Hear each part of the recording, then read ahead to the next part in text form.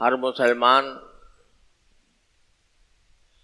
जिसके दिल में अल्लाह ताला ने ईमान की कोई रोशनी अता फरमाई,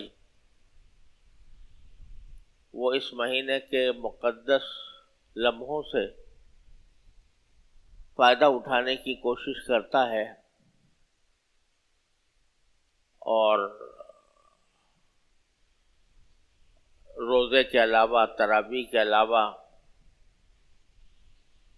कोशिश ये रहती है कि इन अवकात को अल्लाह ताला की इबादत में खर्च किया जाए।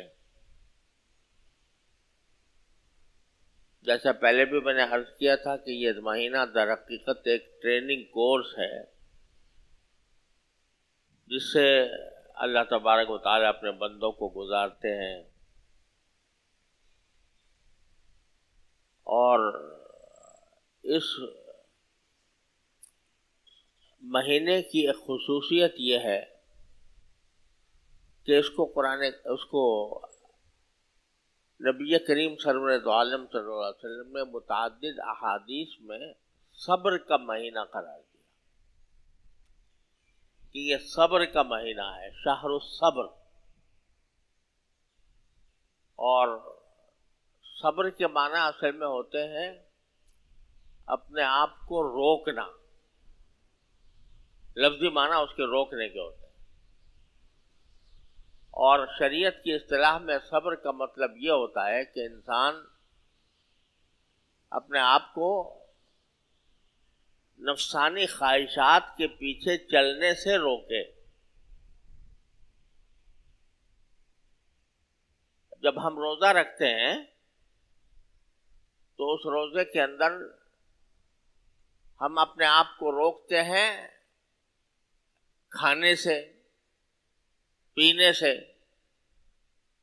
यानी भूख लगती है, दिल चाहता है कि खाना खाएँ, लेकिन अल्लाह ताला के हुक्म की वजह से अपने आप को रोक लेते हैं खाना खाने से। प्यास लगती है, दिल चाहता है कि पानी पिए, ख्वाहिश होती है लेकिन अल्लाह ताला के हुक्म से अपने आप को उस पानी पीने की ख्वाहिश से रोक लेते हैं। तो ये पानी पीने की ख्वाहिश, खाना पीने, खाने खाने की ख्वाहिश को रोक कर अल्लाह ताला का हुक्म बजा लाते हैं, इसका नाम सब्र है। और इसी की मश्क कराई जा रही है, इस महीने के अंदर। कि अपने ख्वाहिशात नफ्स को बेलगाम न छोड़ो। देखो, कोई इंसान ऐसा नहीं है कि जिसमें, के दिल में ख्वाहिशें पैदा न होती हों। और वो ख्वाहिशें दुनिया के कि दौलतों के बारे में होती हैं कि भाई मुझे दौलत मिल जाए, मुझे मेरा मकान अच्छा हो जाए, मेरी गाड़ी अच्छी हो जाए, मेरे, मेरा बैंक बैलेंस बढ़ता चला जाए। ये ख्वाहिशात होती हैं। और अगर ये ख्वाहिशात न होती तो दुनिया में भेजे ही क्यों जाते हम? फरिश्तों के दिलों में ये ख्वाहिशात नहीं पैदा होती। फरिश्तों को अल्लाह तबारक उतार ने ऐसा बनाया है कि उनको न खाने की ज़रूरत न पीने की ज़रूरत न न किसी मर्द अपने जिनसी ख्वाहिशात पूरी करने की ज़रूरत न उनको किसी अप, किसी औरत की तरफ़ या किसी किसी मुन्नस की तरफ़ रगबत होती है। न खाने की रगबत है न पीने की रगबत है ना उनको किसी पैसे की हाजत है। उनको तो अल्लाह ने पैदा ही काम किया इस काम के लिए किया है कि भाई तुम इबादत किए जाओ किए जाओ किए जाओ। एक हदीस में से मालूम होता है, एक रिवायत में आता है कि बाज फरिश्ते ऐसे हैं कि जो जब से पैदा किए गए हैं, उस वक्त से मुसलसल सजदे में हैं। यानी सारा साल गुजर गए, लाखों साल हो गए, सजदे में पड़े।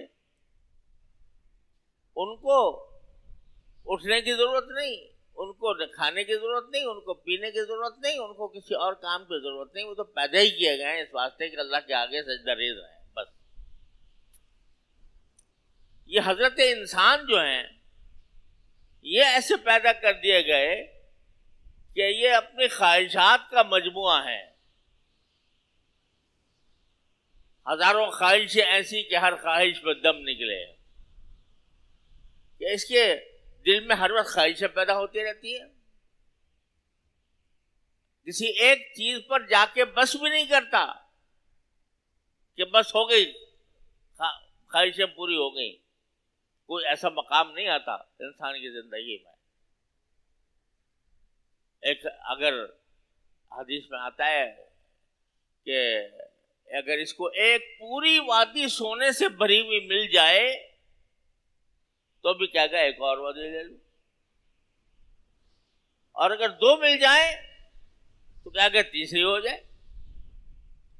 यहाँ तक कि बड़ा बड़ा ज़बरदस्त जुमला इरशाद फरमाया कि बला यमला जौफ अपने आदम इल्लत तुराब। आदम के बेटे की, के पेट को मट्टी के सिवा कोई और चीज़ बंद नहीं, भर नहीं सकती। क्या माना? इसकी ख्वाहिशें उस दिन खत्म होंगी जिस दिन इसे कब्र में रख दिया जाएगा। और मट्टी से इसका पेट भरेगा, और किसी चीज़ से पेट नहीं भर सकता। देख लो दुनिया का, पूरी दुनिया की तारीख देख लो। दुनिया की सारी तारीख देख लो, सारी तारीख में ये आ रहा है कि हर आदमी चाह रहा है कि मैं बढ़ता जाऊँ बढ़ता जाऊँ बढ़ता जाऊँ, मेरी दौलत बढ़ जाए, मेरा मनसब बढ़ जाए, मेरा इकदार बढ़ जाए, मेरी सल्तनत बढ़ जाए, वो हर चीज़ के बढ़ने की कोशिश में लगा रहता है। ख्वाहिश में, कोशिश में लगे ना लगे, ख्वाहिश में तो लगा भैया हर वक्त उसको ख्वाब आते रहते हैं कि अगले अगले दिनों में मुझे क्या करना है और मेरे ऊपर, मेरे पास क्या क्या नेमतें मुझे मिलनी चाहिए। ख्वाहिशात का मजमुआ है ये इंसान। और पैदा ही इसलिए किया गया कि खुदा के बंदे हम तेरे दिल में ख्वाहिश पैदा करते हैं, अच्छी भी, बुरी भी। अब तेरा काम यह है कि तू अल्लाह के खातिर अच्छी ख्वाहिश को तो पूरा कर ले और जो बुरी ख्वाहिशें पैदा होती है, उनसे अपने आप को रोक ले, उससे बाँध ले अपने आप। यही सारा इम्तिहान है। और अगर इसी इम्तिहान के लिए बंदे को पैदा किया गया। और अगर तूने वाकता ये काम कर लिया कि अपनी ख्वाहिशों को बाँध कर रखा, सिर्फ़ जायज़ चीज़ों की हद तक महदूद रखा, और नाजायज चीज़ों से तू अपने आप को परहेज कर लिया तूने तो तेरा मकाम फरिश्तों से भी आगे जाएगा। तेरा मकाम फरिश्तों से भी आगे जाएगा। इसलिए कि फरिश्तों को न भूख लगती है, न प्यास लगती है, न कोई ख्वाहिश पैदा होती है। तेरे अंदर हमने सारी ख्वाहिशें रख दी हैं। और रखने के बाद जब तू हमारी खातिर, जब तू मेरी मोहब्बत की खातिर, मेरी अजमत की खातिर, मेरी मबूदियत की खातिर, जब तू अपने इन ख्वाहिशों को कुचलेगा नाजायज ख्वाहिशों को कुचलेगा तो तेरा मकाम फरिश्तों से आगे जाएगा। और हम उस वक्त कहेंगे, कह देंगे फरिश्तों से कि तुम फरिश्ता है, फरिश्तों, जब मैं इस आदम को बना रहा था तो तुम कह रहे थे कि आप क्यों बना रहे हो ऐसी मखलूक जो इस ज़मीन में जाके फसाद फैलाएगी और खूनेजी करेगी? तो मैंने क्या कहा था कि इन्नी आलम माला तालम। तुम, मैं वो जानता हूँ जो तुम नहीं जानते। यानी इस मखलूक की अजमत को मैं जानता हूँ। इस मखलूक के अंदर अजमत यह होगी कि जब ये अपनी ख्वाहिशात को कुचल कर मेरी खातिर अपने बड़े से बड़े मफाद को कुर्बान करके मेरे हुक्म के आगे सर झुकाएगा